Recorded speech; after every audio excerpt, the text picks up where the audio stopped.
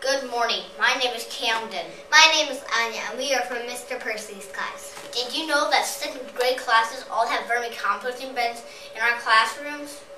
That's right, Camden, we do. About two weeks ago, 4,000 worms were delivered by Federal Express.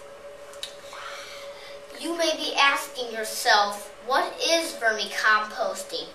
The answer, when red wiggler worms and other decomposers turn organic matter into a natural fertilizer that helps plants grow.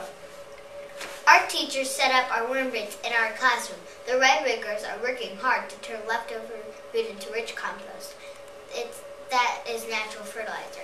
That means there are no chemicals. It is all natural.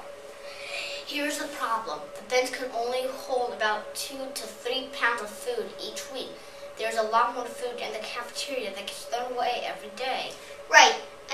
Every day, 14 bags of, bags of trash go straight to the landfill. The bags are filled with food that can be composted, materials that can be recycled, and some things that really do have to go to the landfill.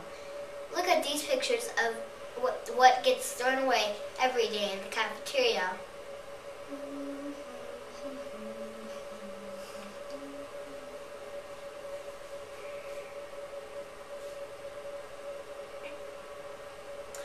Keysor kids can do better than this.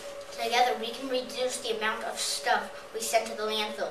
We can recycle and compost. Well, I know we can recycle, but we very, very well can't have very a million worms here at Keysor. We just don't have enough space, and it would take forever. But there is a solution to this problem. Stay tuned tomorrow for more information.